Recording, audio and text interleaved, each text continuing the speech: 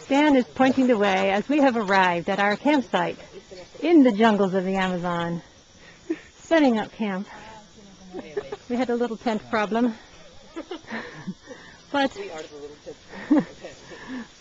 we might be able to work this issue out. So far the mosquitoes aren't too bad. Run one there first. We saw some monkeys coming in.